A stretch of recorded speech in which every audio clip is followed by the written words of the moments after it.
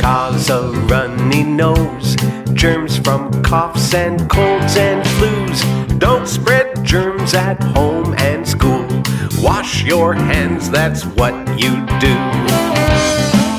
Now that's right. Plenty of soap and plenty of water. Wash, wash, wash your hands. Get them nice and clean. Wash them on top, wash them below, and fingers in between. Yeah.